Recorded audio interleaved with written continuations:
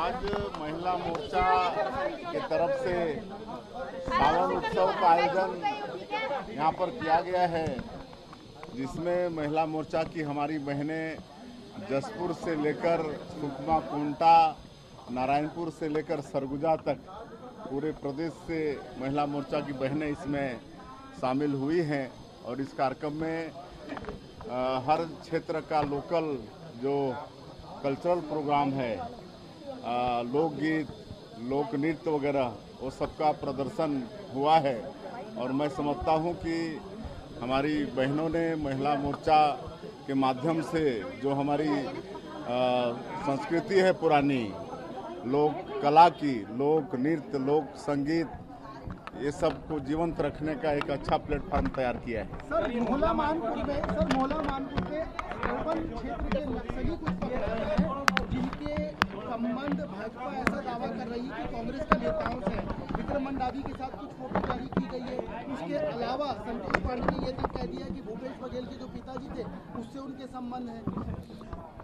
देखिए, जब से हम लोग सरकार में आए हैं, तब से नक्सलवाद के साथ, मजबूती के साथ लड़ रहे हैं और डबल इंजन की सरकार है, उसका भी लाभ हम लोग को मिल रहा है।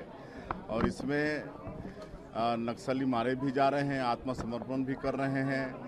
उनकी गिरफ्तारी भी हो रही है और लगातार हम लोग सुरक्षा कैंप खोल रहे हैं, जिसके माध्यम से जो सरकार की योजनाएँ हैं, उनको लोगों तक पहुँचा रहे हैं। एक नियत नीलानार योजना आपका अच्छा गाँव, जिसका हिंदी अनुवाद है, उसके माध्यम से जो भारत सरकार और प्रदेश सरकार की जो योजनाएँ हैं, जो मूलभूत लोगों के लिए सुविधाएँ हैं, उसको पहुँचाने का काम कर रहे हैं। और इसमें कोई अगर नक्सलियों का सहयोग भी किसी न किसी रूप में करता है। अगर वो पकड़ में आएँगे तो उनके ऊपर भी कार्रवाई सख्ती से होगी। सर कांग्रेस के सर सर सर सर मुख्यमंत्री जी सर आदिवासी उत्सव में आप नहीं पहुँचे थे इसे लेकर कांग्रेस बार बार सवाल पूछ रही है। इस पर कुछ कह देंगे किसी कारणवश जी। उन नक्सलियों से कांग्रेस के नेताओं की साठगांठ इस तरह की वो तो जाँच में सामने आ जाएँगे कि किसके किससे संपर्क हैं। जाँच होने पर सब सामने आ जाएगा जनता के सामने आ जाएगा। सर एक चीज़ की और चर्चा है इस पर खूब राजनीति हो रही है कि जो विश्व आदिवासी महोत्सव था उसमें आपने शिरकत नहीं की इसको लेकर दीपक बैज भी चर्चा कर रहे हैं भूपेश बघेल भी चर्चा कर रहे हैं राजनीति हो रही है इस पर देखिए आज़ादी का 75 साल हो गया हम लोग अमृत महोत्सव मनाए हैं। और इसका आकलन अगर करेंगे तो लंबे समय तक कांग्रेस पार्टी इस देश में शासन की है। लेकिन अगर जहाँ तक आदिवासियों की बात करें, मैं भी आदिवासी समाज से हूँ, आदिवासियों का मान सम्मान और विकास अगर किसी पार्टी ने किया है तो भारतीय जनता पार्टी ने किया है। भारतीय जनता पार्टी ने जब अटल बिहारी वाजपेयी जी प्रधानमंत्री थे तो उनको आवश्यकता महसूस हुई। कि आदिवासियों के विकास के लिए एक अलग से मंत्रालय का गठन होना चाहिए और उन्होंने आदिम जाति कल्याण मंत्रालय का गठन किया। एक आदिवासी को उसमें मंत्री बनाया, केंद्रीय मंत्री भी और राज्य मंत्री भी बनाया।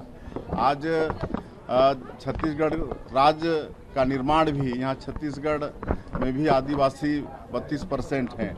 उनका भी समुचित विकास हो तो छत्तीसगढ़ राज्य का निर्माण भी हमारे श्रद्धेय अटल बिहारी वाजपेयी जी ने किया। यहाँ पर 15 साल हम लोगों की सरकार थी डॉक्टर रमन सिंह के नेतृत्व में।